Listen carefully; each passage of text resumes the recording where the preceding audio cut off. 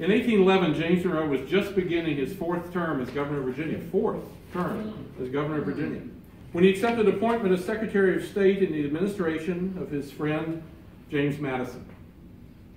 Now, as we all know, this marked the start of the family's residence in this building.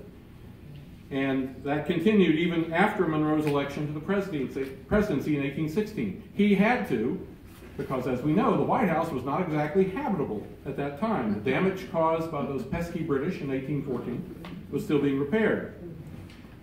By June of 1817, President Monroe was taking it to the streets literally, embarking on a 15 week tour of the northern states. He traveled up the East Coast from Washington, D.C. to Portland, Maine, west to Detroit, and back to Washington via Ohio, western Pennsylvania, and Maryland, totaling some 2,000 miles.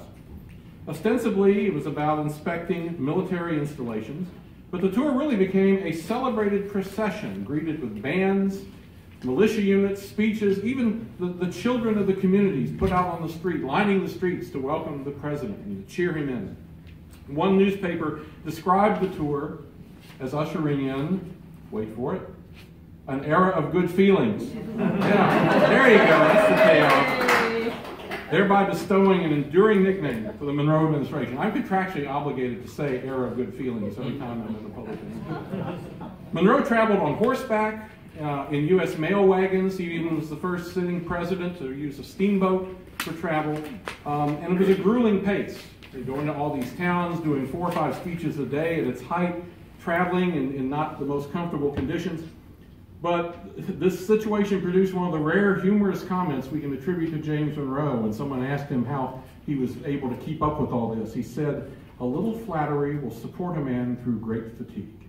That's pretty good. That's pretty good.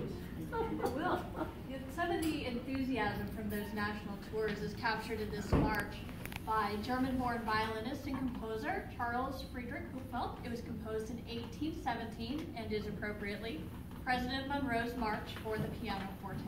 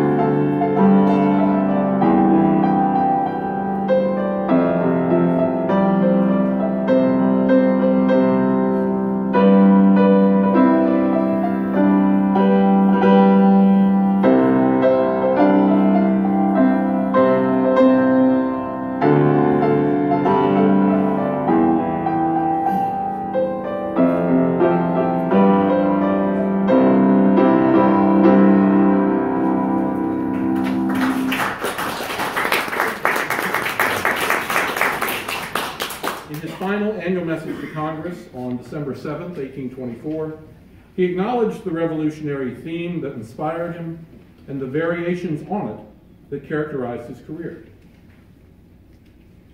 I cannot conclude this communication, the last of the kind which I shall have to make, without recollecting with great sensibility and heartfelt gratitude the many instances of the public confidence and generous support which I have received from my fellow citizens in the various trusts with which I have been honored.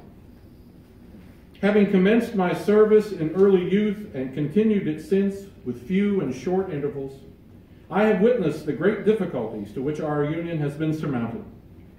From the present prosperous and happy state, I derive a gratification which I cannot express. That these blessings may be preserved and perpetuated will be the object of my fervent and unceasing prayers to the Supreme Ruler of the universe.